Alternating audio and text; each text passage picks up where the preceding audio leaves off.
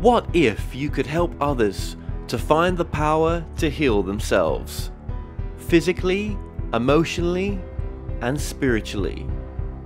When I started teaching my classes, it was in 2002, and I was just doing the past life regressions and contacting the subconscious part.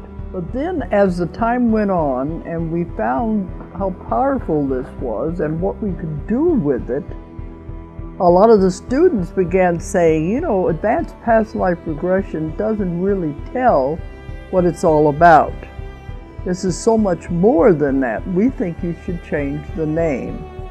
So it was a few years ago we decided to change the name to Quantum Healing Hypnosis Technique. And this is the healing technique that we've now been teaching it, well, since 2002, that's 12 years. What if you could time travel with them? Visit mythical places or angelic realms, other worlds, other galaxies. Help others to speak to their higher selves. You can. Dolores has taught thousands of people from across the world how to use QHHT, and now you can learn her method by going directly to dolorescannon.com. And don't forget to mention the discount code MORETALKS.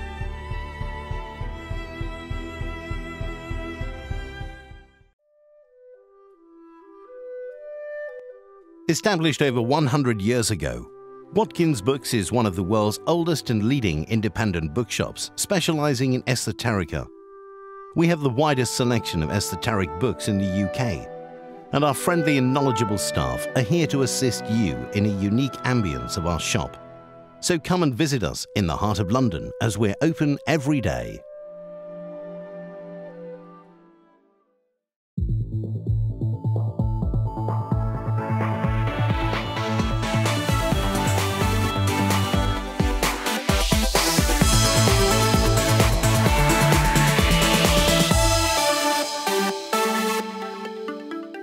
The comments and views expressed on The Moore Show are those of the people that make them and do not necessarily reflect the view of Kevin Moore, The Moore Show, or this radio station and its affiliate or sponsors.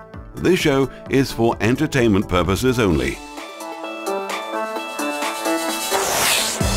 Broadcasting from the UK and across the world online. You're now watching the UK's only alternative late night talk show, and I'm your host, Kevin Moore.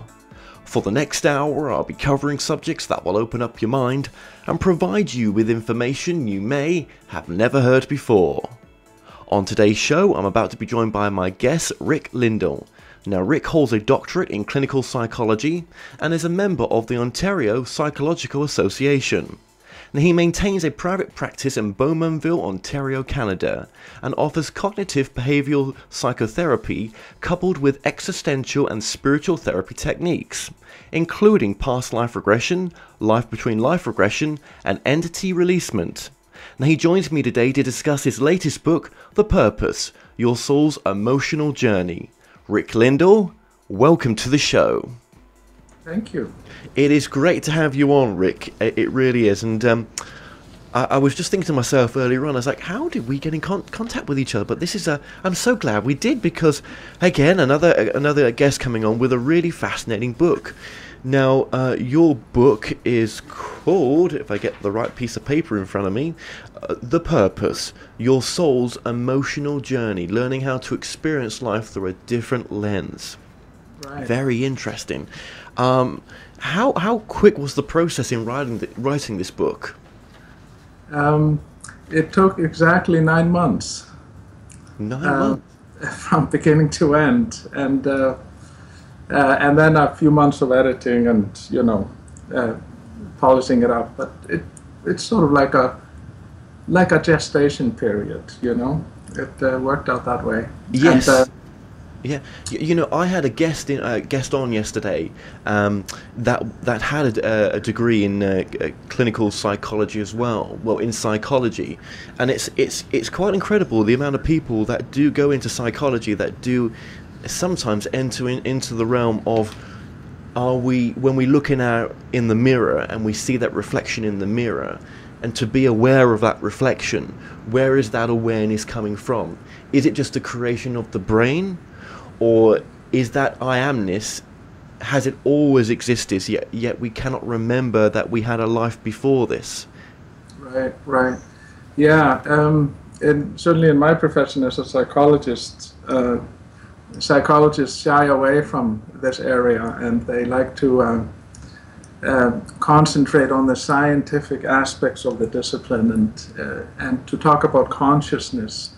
It's sort of uh, a bit sort of sketchy, uh, or it's considered sort of a bit sketchy by many psychologists. So, but you know, it's been something that has sort of evolved with me for many years, and um, I, I, I, I, suppose it starts when I'm a, I'm a child, and um, uh, I was playing the Ouija board with my mother, who was interested in these issues, and um, and uh, then I read everything that I could on parapsychology. It became my hobby, and uh, I started uh, after, with the Ouija board. Uh, we used to play it normally, the two of us, and then I discovered that, or my mom told me that my brother's father used to play it on his own up at the farm in north in the north of Iceland. So I said, "Oh, that's good." So I started doing that too, and uh, and then it became so I became so fast at it, and the thoughts appeared in my head so quickly that I just decided to write them down. So it sort of became more an automatic writing where I would ask a question and I would write it down. And so I, I went on doing this for a few years um, until sort of the end of my stay in England back in in the. were you scared of doing that on your own at all? Was it a scary process? And did it did it actually move? Did you feel it moving, and it, it was more than you that was moving it? No, it felt like it was moving, um, and it would sometimes fly fly off the the table. You know, when I was doing using the uh, the little uh, thingy that moves around. But once I was writing, it was a lot more sort of um, automatic, as it were. And of course, being a psychologist and studying science, I was uh, studying psychophysiology. Um, I, I, I was skeptical of this. You know, what is this? What's going on here? Yes. So, and when I was um, communicating on the Ouija board, I was always communicating either with my maternal grandmother or my or my my grandfather uh, on my on my mother's side. And uh, um, so I said to him, I said, you know, Edward, he had died a few years uh, ago. Uh, and I said, you know, I don't believe any of this bull. You know, what is this? You know, I'm a scientist. I'm studying to be a psychologist. I can't be dabbling in these things unless you give me some proof. So he said, well, hey, um, think about your, your, your dad and what he's doing right now. And I was in England at York University at the time, and my dad was in Iceland, in Reykjavik at his office, sitting at his desk. Uh, well, my grandfather said, Your dad's at his office, sitting at a desk, and he's going to get up in a few minutes, he, and he's going to drive home uh, for supper. And on his way home, there will uh, be an accident, and uh, he will observe the accident. He won't be involved in the accident, and then he'll go home and he'll tell his wife about it. So I said, Okay, and um, and he said, Well, call your dad tomorrow and uh, and ask him um, what happened. So I did, and turns out exactly that that happened. So um, I started thinking, hmm, uh, I think I believe this. I mean, it's impossible for me to have. That's incredible. That's incredible. And did you ever bring any information through via the via that the Ouija board, uh, in the sense of um, uh, uh, what the continuation of the soul is, where where the where the where they felt they were, and just just concepts that were not not known to you in a sense. Uh, not really. Um, you know, it was you know. How how did you know it it was who it was it saying it was? How do you know that it, it was authentic and? Um, I I felt I suppose I felt it was my grandfather. Okay. Uh, if it was my my grandmother, uh, she was actually my ter- my maternal grandmother. Sorry, and uh, but she was a very different character, and totally different, and spoke differently, or, or said words differently. She felt very different, and and I only sort of communicated with these two people. Right. And D- did anything negative come through on the board? no, never. Uh, uh, if there was anything negative that wanted to come through, or a person I didn't know, I uh, blocked them.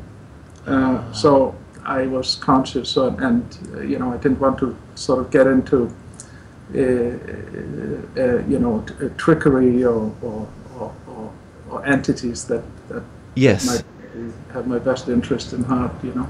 Okay, very interesting and very interesting. And um, um, was there any sort of a- unusual activity in the house once you had done that? That, or was it all sort of good on the Western Front? All good. No, All nothing. good. I felt, in fact, very supported Wow. by having my grandfather sort of uh, guide me in a sense. Uh, I felt, and um, and I like that. Uh, it was a wonderful relationship, and still is. If I pick up the pen, I can do it. I can, he's always there. Do you do you still do your creative writing or the or the or the board? Uh, no, I haven't done it for many years. I haven't done it since the mid '80s. Um, so. Had you had you read the Seth books prior to doing the board or after doing the board? uh, after started in the mid 80s maybe uh, late 80s i started reading the seth books and um, and then uh, you know uh, donald walsch neale donald walsch's conversations with god and uh, and uh, and then later viktor frankl um, existential sort of uh, philosophy and, and psychotherapy is In- incredible. So, so, so, yeah. I mean, I think the, the Seth material is great material, as as there is a lot of great material out there right now, right? Um, but Yeah, Seth, yeah, yeah. Seth did actually pave the way for a lot of other channels to come through.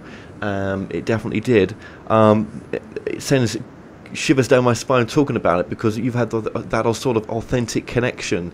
Um, how, how comes that you you know you you sort of stopped the creative writing? Um, I, I, I, I just got busy, and uh, I didn't think there was there wasn't a lot coming through. I didn't have many questions. I somehow felt I knew everything I needed to know about the other side, and uh, and my grandfather said, "Hey, you know," I said, "Well, why don't I channel a book through you or something?" Or you know, and uh, and he said, "Don't worry, there's a lot been written already. You know, just look around and you'll find it."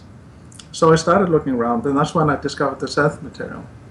And um, and so after having read that and many other books, you know, I realized, you know, there's, you know, I, there's no need to reinvent the the wheel, as it were. Uh, you know, No, no, uh, but there, there always seems to be in, in in the channel material coming through now new frameworks of information coming through, new frameworks.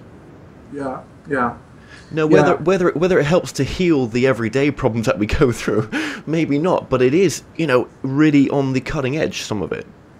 That's right. That's right. Um,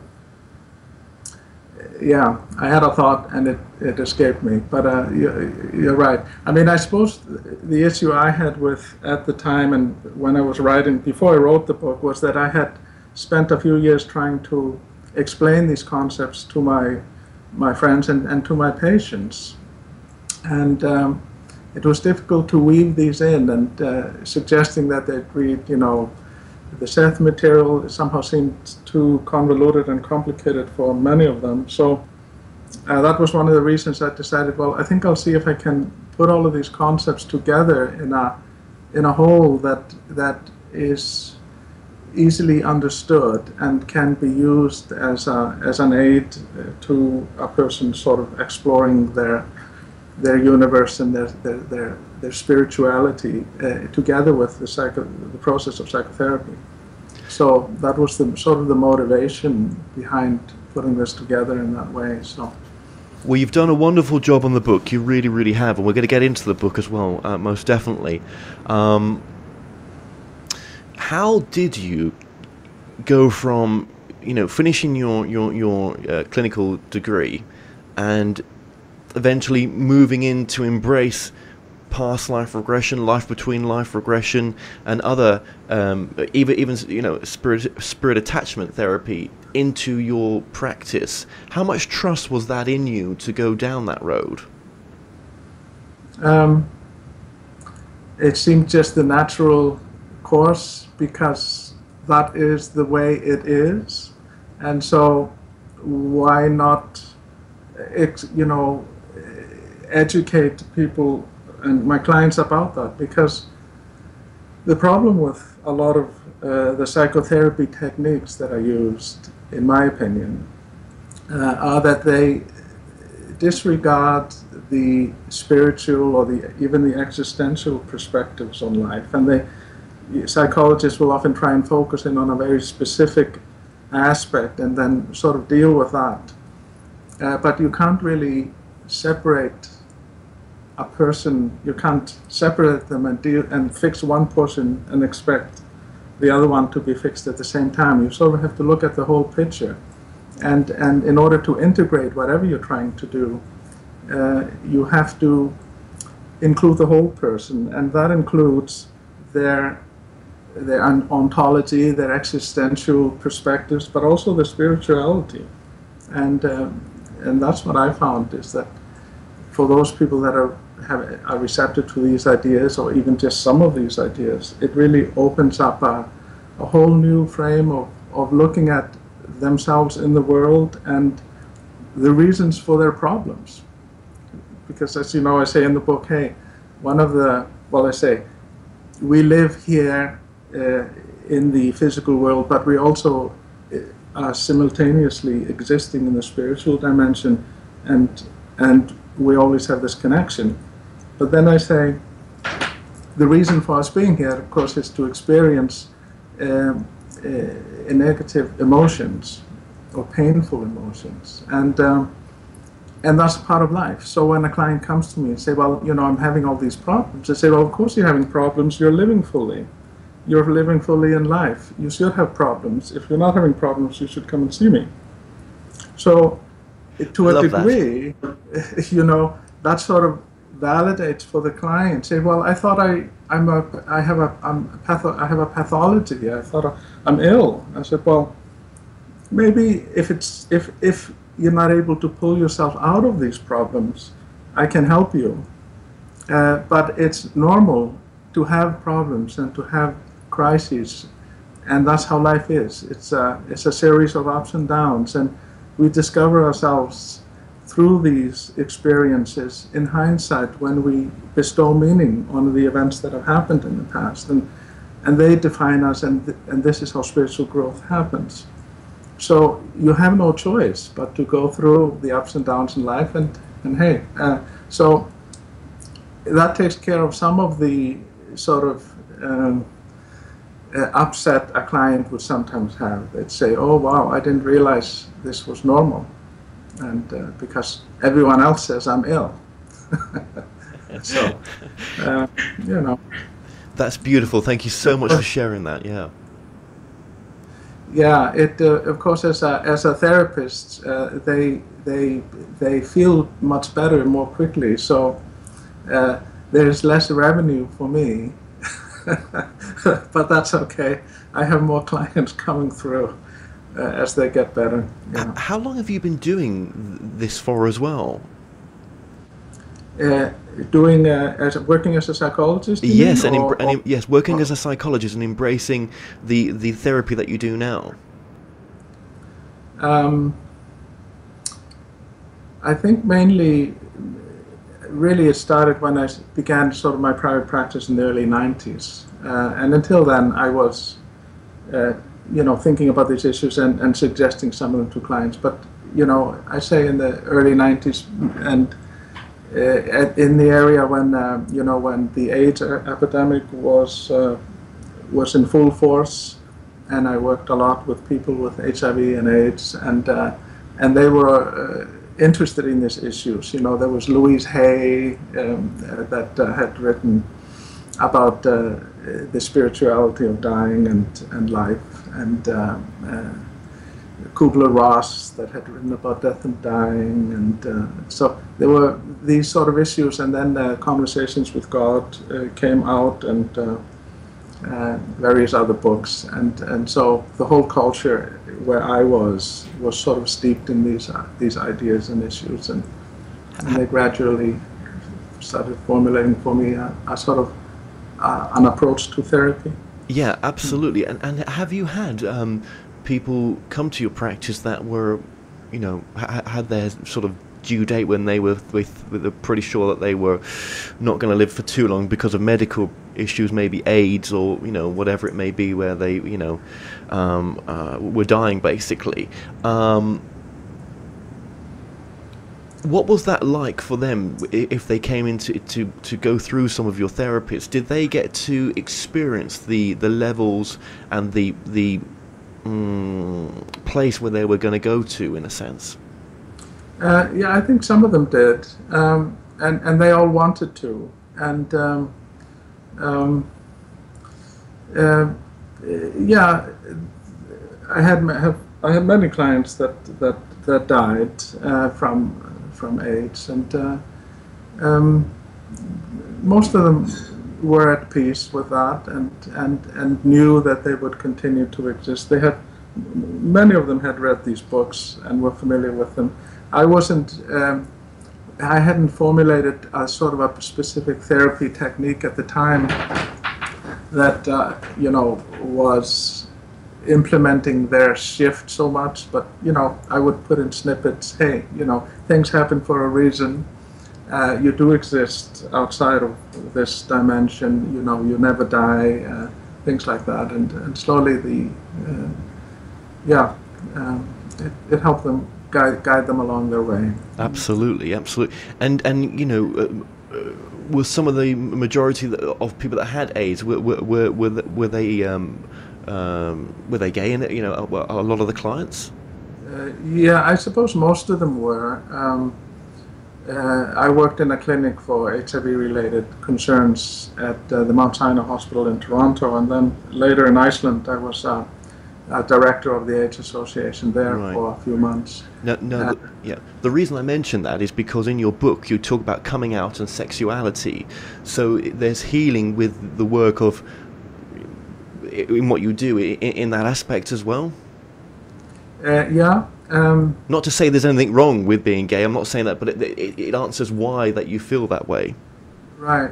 Well, I, I, I, thought it was important in the in my book and in, in my therapy approach to to be authentic and to be unapologetic for my existence, which is what my message is in the book. Is that uh, you're unique and therefore you're irreplaceable, and it's a, a quality and a requirement of your existence to be who you are in order for, for yourself, but also in order for others to learn. So, um, and that's taking a step away from the traditional therapist approach where, you know, the therapist reveals something about themselves and to the degree that I have in the book that uh, I think works well. I'm trying to sort of sort of lessen the myth of the the you know the doctor in the white coat who who uh, you know has a stiff upper lip and doesn't tell you tell you much or anything about themselves in order uh, not to well I'm not sure why uh, but it has to do with transference and countertransference obviously but uh, uh, there's a I think um, it's quite valid and, and, and necessary and it's a more of a human approach to share a part of yourself in that way, of course, uh, one has to be careful what one shares. For example, if a client is having a relationship problem and I'm having a relationship problem at the same time, yeah. I don't want to be talking about my issues. Right. Or, let or, or in or, or in in, the, in a way that would interfere with them exploring their own. of know, course, has to do with the transference. Of course, who, who taught you the the process uh, for life between life regression and past life regression? Um, I, I um, took a number of courses. Um, uh, I suppose um, Michael Newton, I, I did the life between life regression sort of course with him. Um, and uh, there was Adam Crabtree in Toronto. He's written a couple of books uh, on on this uh, regression and, and on on on entities and things like that. And so I took some courses with him. So yeah. Uh, uh, okay. Okay. So that's where you get. Yeah. That's where you, that's where you got the training from. Um, uh, thank you for, for sharing that, by the way. Yeah, Michael New- Newton. What, what, what, a, what a, that must have been an interesting course, uh, definitely. Um, wow, there's so much to talk about in, in, your book as well. Now, now in, in the title, you use the word emotional, and um, do you, do you think, and when it, in the book as well, chapter seven, you know, you talk about emotional states of, of mind and their effect on on uh, you know your reality, your love, your fear and anxiety.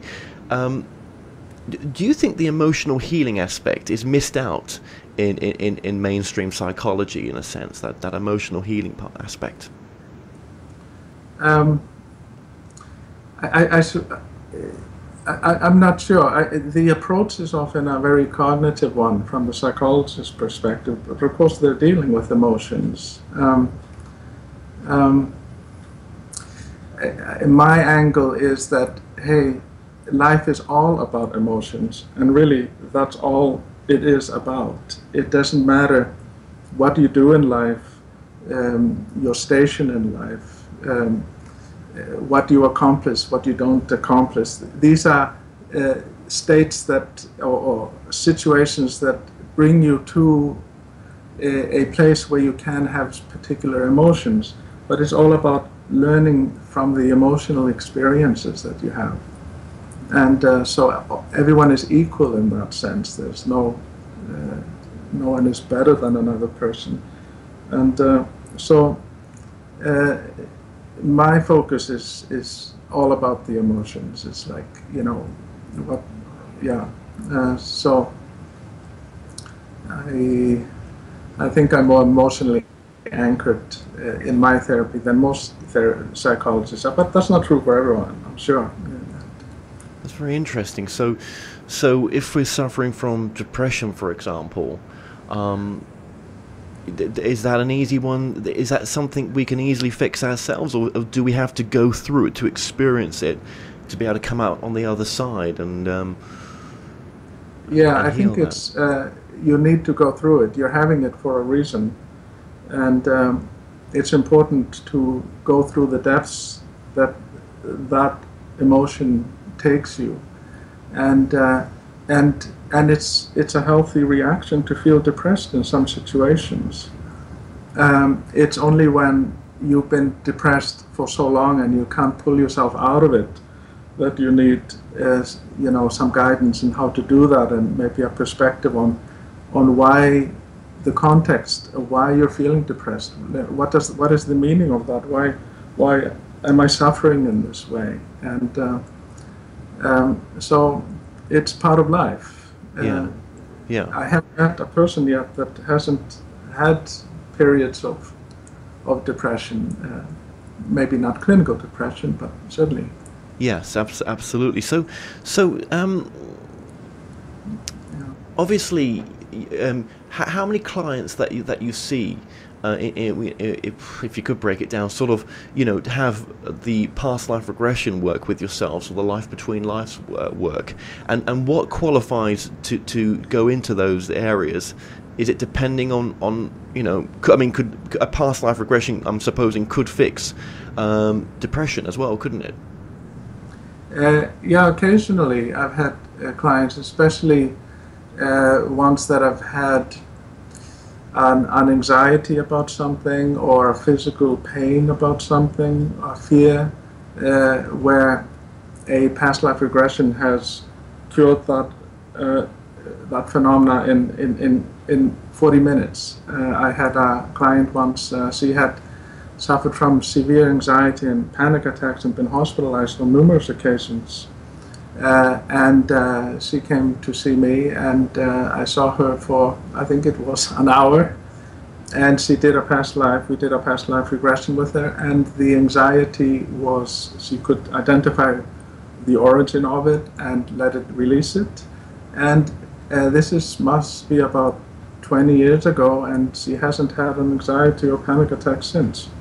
Incredible. Um, I've had other, uh, I've had another client who had a different sort of experience where this was an entity attachment. So um, he had come across uh, when he was a teenager a, a person who died on a boat and helped this person uh, or the, and um, thought nothing of it. And then later in life, he uh, he uh, started having problems with uh, jealousy uh, to the extent that he couldn't maintain any relationships. Like as you know, a couple of weeks into the relationship, you know, he became insanely jealous, and there was in exploring this issue with him uh, in therapy over a number of sessions, there was no no obvious cause for that, and um, and he didn't believe in past life or in entity. Like this was a technology guy, and uh, you know thought this was just rubbish. But he said, "Hey Rick, if you uh, if you want to do that, then that's fine. I'm I I I'm, I want to find a way of releasing this." So he goes into a into a into a trance, and uh, and suddenly this guy in the boat appears for him, standing right in front of him in the room, as he described it. And uh, the guy in the boat said, "Well, what am I doing here?" And uh, and he said, "Well, you died like way back in the I think 70s." And and he says, "Well, where have I been?" Says the dead guy and uh, and so we explain and uh, say, hey, you know, you've been attached to this person, and uh, and the, uh, the, the the person that died says, well, where's my wife? I'm going to go home see my wife, and she's well, you know, she's obviously passed into the uh, spiritual dimension, but you know, we can ask her to come and and uh, maybe she'll guide you there. And so I did, and she appeared, and and took him. She appeared actually in a car that he recognized and they drove off into the spiritual dimension. But I said to my client, hey, ask him before he leaves if he used to be jealous in his lifetime. And, uh, and he says, yes, I've always been insanely jealous, you know. And, uh, and so we did then this releasement, you know, said, well, you know, this jealousy, you need to take that with you. This energy that is the jealousy, you must take it with you uh, because it's been affecting, uh, you know, my client. And uh, and this uh, gentleman was very apologetic. You know, I didn't realize, I didn't know what was happening. All this is, I'm so sorry. He takes the jealousy symbolically um, and leaves. And my client, he hadn't been jealous for it must be 15, 16 years now. It's gone. So in one session, sometimes uh, something like that can work if it has, if it, ha- it when it's you know a spiritual uh, dimensionally uh, sort of connected issue. That's incredible. Do you find um, do you find with clients that um, past lives um, are affecting the current incarnation sometimes quite seriously in a sense of habits and feelings that they cannot explain. They they've never really lived a life to to have these feelings or habits yet they're there. You when you go into the regression um, it becomes clear that in a past life you didn't heal what you've brought forth in this life. Yeah it, that's right. Occasionally it does and i certainly i talk about one aspect of that in my book about the fear of water, for example, you know. Um, uh, so uh, that happens, uh, but also um, I don't believe in karma as as maybe the uh, the Buddhist religion would do. Like it's the idea is that if you do something bad in this life, it's gonna you know you're gonna have to go through it in a, in a different incarnation. No, there seems to be free will. Yeah, yeah but rather, you know, you come into this life uh, fully aware of, of most of the issues that you, you have decided to deal with, and it's your choice to do that. And that's why you have the, the upsets in, the, in this current lifetime, but they have nothing to do with what you did in a past life. Because on a spiritual level, of course, there is no good and bad, there's no right or wrong. Um, we're all connected with in all that is on a spiritual level. So, but down here, obviously, there, there is morality and values and rights and wrongs, and, and this creates the emotions that we need to have in order to, to discover who we are. But if we've got had people in our life that we would call our worst enemies, or that have caused the the, the, the most pain to us, or continue to disrupt disrupt our life, do you think they could be our greatest teacher in the sense that we potentially chose to have this experience with them, not the exact experience, but to you know to be coming together again to to to work things out that we've you know still not worked out in previous lives. So not karma, but just the, you know we, unfinished business. That's right. Absolutely. Yeah. Yeah. Yeah. That I think that happens happens quite often. Um, and uh, mm-hmm, um, I'm trying to think of some example. Nothing comes to mind at the moment. But I think it, it's we all we all learn from each other. Everything is contrast in, in our physical world, and, and we need to have that in order to discover. In order to know if you're a good person, you have to know someone that's bad. In order to be rich, you have to know what it is to be poor or know somebody that doesn't have what you have. It's all contrast. So, uh, others, we all, I am a gift to you as you are a gift to me. For each of us for, for our own reasons, uh, our own journeys. So we all learn from each other, and it's so important. It's it's so incredibly re- uh, entangled and so perfectly worked out, isn't it? Sometimes. um, it's not. Yeah. Do you do you find that future lives have affected any clients where something in the future life is affecting the current incarnation? Uh, I haven't uh, gone there or explored that. Um, um, so I don't, I don't know. Uh, uh, from the Seth uh, material, you know, Seth would say uh, there are probable futures, and there is. He talks about probable man in other dimensions, and and for us, we have probable futures. As we also have parallel lives, and that's another issue that Yes, if if you think that all lives are happening simultaneously, past, present, and future, then are those future lives potential, or are they actual? Yet there are they are uh, changeable effects that you ch- what what you change here now would change the future, but it doesn't take away that those future lives are happening. Um, I think, uh, as far as I I can sort of glean uh, the there's a probable future and there are probable future lives. Uh, we have free will and down here, but we also in the on the spiritual level and uh, have see the whole picture, and and so we're evolving. Uh, so the and it's difficult because of course here we are uh, stuck in a in a in a the space and time dimension, and we can only think linearly.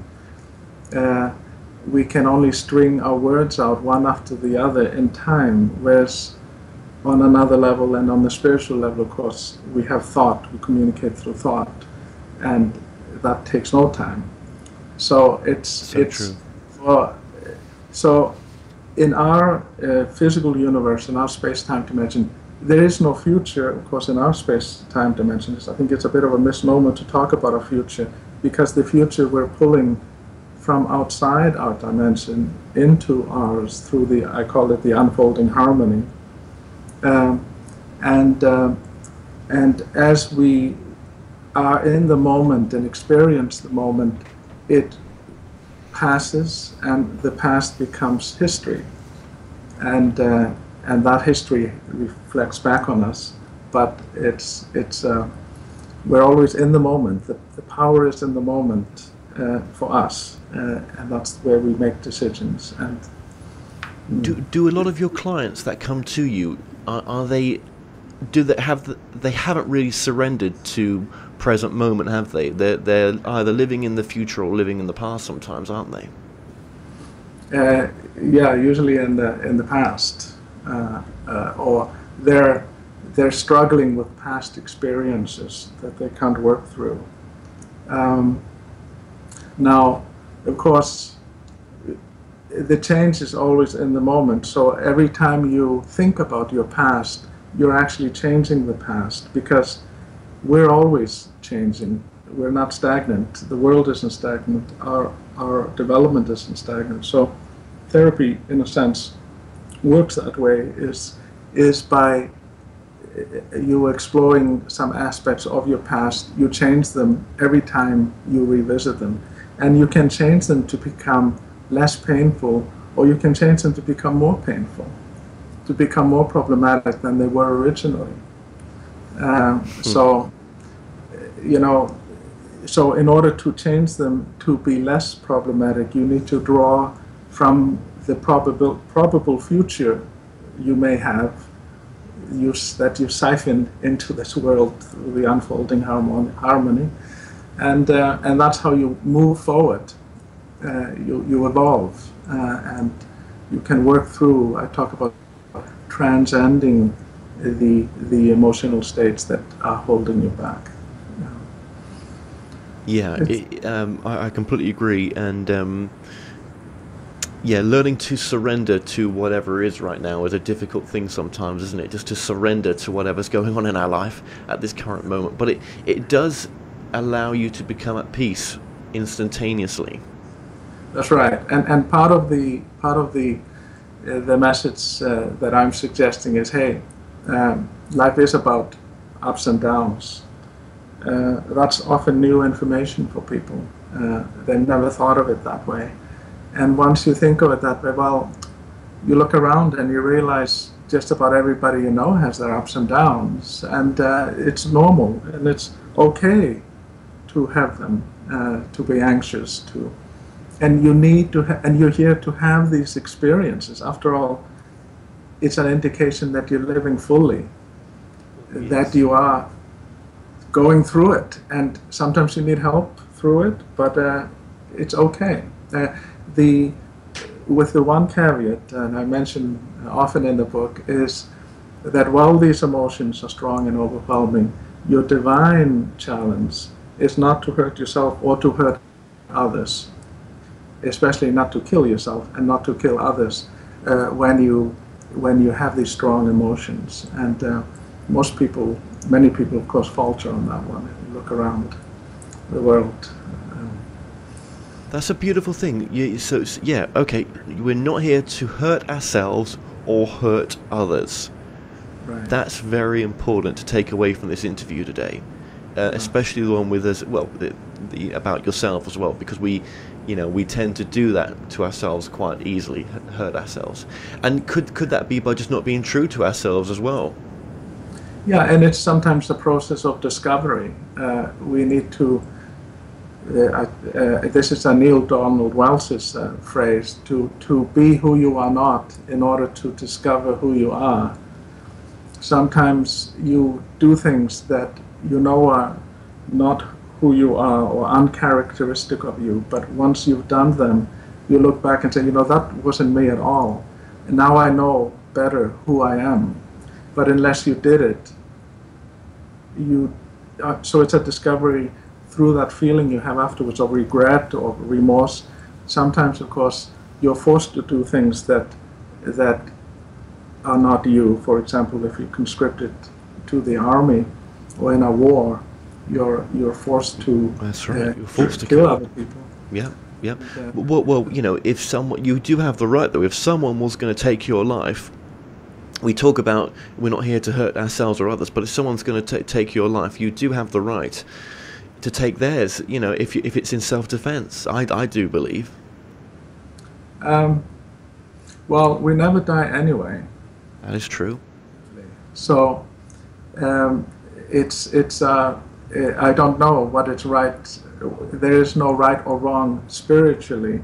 The person who is, you know, pointing the gun at you and uh, uh, is he a bad person uh, or is he giving you the opportunity to experience how it is to have a gun pointed at you and if he pulls the trigger then you die and your journey is is pretty beautiful from then on uh, of course the person pulling the trigger has to suffer from having having killed someone which isn't an easy thing to do so to kill in self-defense, I don't know. It's a complicated one, isn't it? It, it is. It really is. Um, yeah. Um, Theoretically, I'd say, you know, yeah, no, I would wouldn't kill. I'm a pacifist. I wouldn't kill a person even in self-defense. But um, I don't think. I'm not sure if I could resist that Yes, if it, it put to the test, but like you say, you know, there is no wrong or right. There is no uh, karma as we understand it. But then, what is karma to you then? Uh, there is no karma uh, other than the experience you have in a lifetime, some of which you work through and some of which you don't, some of which you bring back, as you mentioned, uh, and continue to work on. But karma implies to me that there is, it's a, it's a consequence of, of past actions that you No. are working through. Yeah. So, so there's many books on karma out there, as you know. Um, Yeah. But your understanding of karma, if I try to sum it up, is which is which I do agree with, is um, in a sense that um, there is no uh, accumulation of if you've done something wrong to hurt someone in this life, unconsciously or consciously, you know, you don't you don't have to come back and be punished. There is nothing like that. But you may choose with free will and complete self-awareness that well let me experience what that would be like on the other foot let's just experience that because i choose to with free will not because i'm forced by some spirit guide to come down here to do that Right, exactly. That's exactly what I'm suggesting. okay Yeah, yeah yeah. So life is all about learning, and from different angles, from different perspectives. You know, you're the teacher, you're the student, you're the murderer, you're the victim, you're the aggressor, you're the pacifist. It's it's all. Uh, we are here to learn through experience and the emotions that are created as a consequence. but what about those people who abuse other people even child abusers um, why why would you come down with that uh, urge or that or, or, or- to want to experience something like that because how rewarding in a sense spiritually is that for you as a soul I, I can you know I suppose what you're going to say is that the the victim chose to be the victim and the abuser chose to be the abuser is that what you might say I, that's what I would say.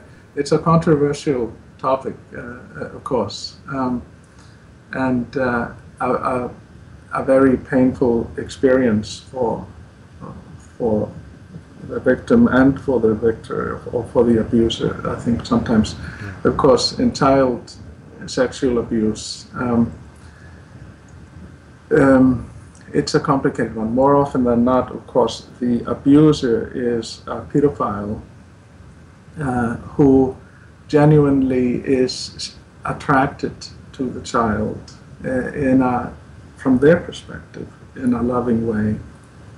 Um, but of course, the consequences of their acts with the child create havoc. Uh, so it's a terrible uh, situation or affliction to have. Like, like you might say, I'm gay, and people will say, well, that's a terrible affliction. Well, I certainly wouldn't be traveling around Moscow waving my flag at the No. moment, no um, or Kenya. no it's sad Uh, isn't it yeah Uh, but the so child sexual abuse that's it's um, it's even more I think dramatically complicated and painful to deal with. But uh, in order, say that you wanted to experience how it felt to be abused and the consequences of that. I mean that's a journey through life that is uh, unique. Um, that uh, to us is abhorrent, Of course, of course. And and have you had clients that have come to you that have had past life regression, that have gone through abuse, that have that have gone to see a bigger picture of of their own choice of coming down here? Have, have, they got to see that? Uh, not that I recall specifically that way, but I've certainly had clients that have been sexually abused in past lives that they, they recall. Um, Not this Uh, life, but past lives. yeah, in past lives. Yeah, and I've I, and I've worked with clients, of course, in this life that have been sexually abused. Many, some of which um, they fall into maybe three categories. Is the one that is genuinely sexually abused and it was a violent and a dreadful experience. Uh, there are others that think nothing of it. It didn't affect them one way or another. And then there are those that talk about it being uh, uh, one of the most loving relationships they had as children. Uh, difficult to to think of that, but uh, I had once a client that was a priest who, whose, who, whose experience was as a child um, uh, the best, that was the most loving relationship he had as a child. Uh, which then, of course, begs the question: you know, what was, what were the parents like? Where were the parents? Yeah. But that's another issue. So, Yeah. Uh, sexual abuse is very complicated. Uh, Yeah. How a person experiences it, and and sometimes there could be abuse that the the child thinks very little of, but then later in life, or they discover that this was abuse, and they thought they suddenly feel abused, but they didn't feel abused until it's been labeled as such, and that's another another dimension. Yeah, It's- yeah. Well, well I, I mention it because I'm sure that you know in your practice, um, when we talk about healings, then you know people come with all sorts of hidden scars, and um, I, I, I've done you know dealt, you know had people who have been abused on on, on in my show as well, and it's it's just just interesting to ask you w- with the type of work and healing that you do as well, the modalities that you do, just where that fits in and how, how healing that is. But it's interesting when you say the past life um, abuse. You know, I, am guessing what you mean there is, is it is in this life they've they have issues that relate to that past life abuse abuse. Right, right. Yeah, yeah, yeah. Wow. Um, Okay. It's uh, it's also the whole I, dimension of, of values and morals as they change through time. I often use the example of Loretta Lynn, you know, the coal miner's daughter uh, in the States. She was married to, at 16, I believe, or was it 14 or 13? I can't remember. She was in her teens to a 35 year old uh, gentleman who was a, a coal miner too. But that was common in the 60s. Now, that person would be put in prison if he, uh, a 35 year old, were to marry a 14 year old. I mean, it just wouldn't be allowed. Absolutely.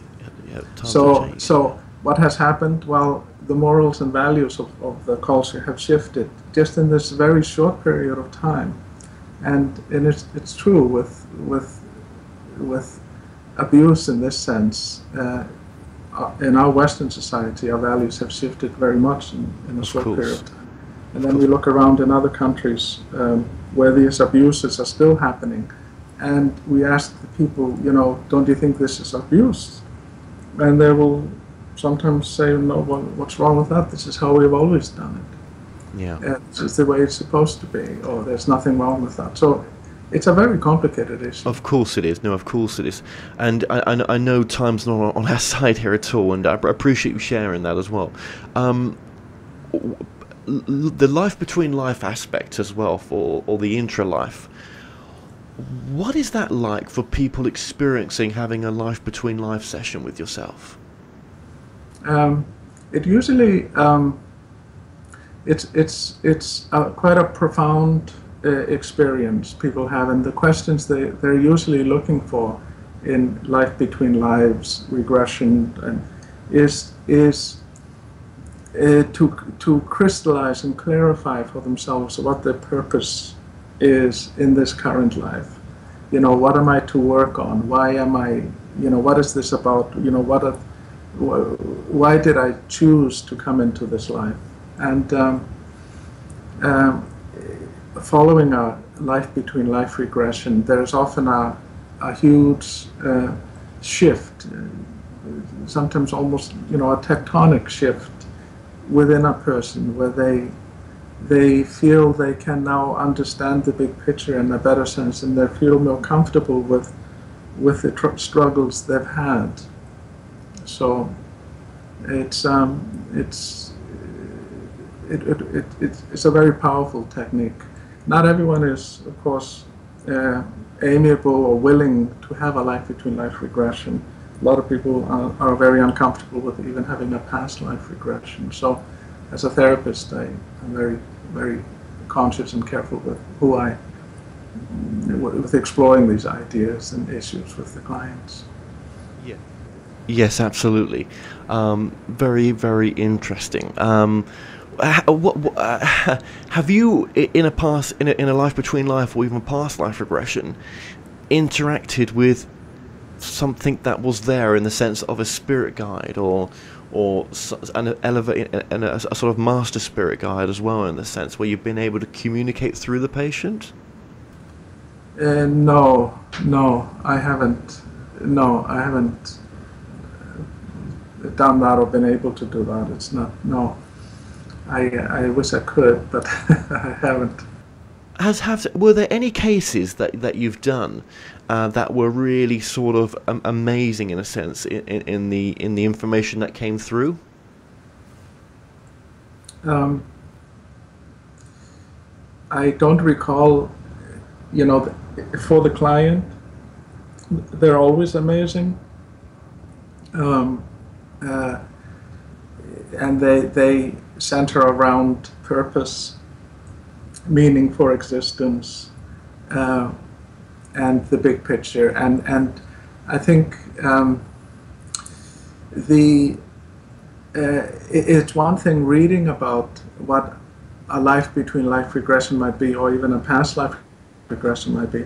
But it's another thing experiencing it, because once you experience it, it stops being a belief uh, and it becomes a knowing, uh, something you know, uh, and the, people, you know, often don't believe these that that a past life exists or that yeah. you can access the interlife. But once you've been there and you've had the experience, it's a knowing, and that knowing uh, stays with with the person and shifts their spiritual perspective and existential perspective on, on how they understand themselves in life and their journey through life. And it's very powerful in that sense from a therapeutic perspective. Absolutely, I'm back at yeah. It, it is. It really is. I, have had my own experience as well with that. Now, do, do you offer? Eh, do pay? Do clients come to you? Can they come to you remotely um, via Skype, or is it just um, in, in, person that you that you do this? Uh, uh, just in person. Uh, uh, I haven't done any therapy over over Skype. Uh, unfortunately, at my home, I don't have a good Skype connection, but I suppose I could do it in the office. I, mean, I haven't really gone there to explore that, but that's an interesting, an interesting uh, avenue, you know, to pursue. Yes. Yes, no, it's it's, uh, it's uh, there's a few few people doing it right now. Well, we've been putting your book up a number of times on the screen as well, and um, um, what what would you? Oh, your website as well. What is your website there, Rick? It would be, um, I suppose, uh, thepurpose.ca. www.thepurpose.ca. Excellent. Okay. Well, what would you say? Um, what would you say is the most important message in, in the work that you've done? I think um, it is the message that we exist simultaneously in the spiritual dimension and down here on earth, and that we communicate with our spiritual higher self, with I call it the old soul or the oversoul, through intuition. And our intuition can guide us throughout life, and that it's very important uh, to have an open channel to the intuition. Uh, because, of course, if you don't if you lose that connection, uh, you uh, start experiencing some existential desperation uh, because you have a feeling, nevertheless, that you want to do something useful with your life. And what happens then is that people start looking around, maybe to institutions, you know, political, religious, or scientific institutions, to tell them how to think and what, uh, how to be in the world and what the world is about.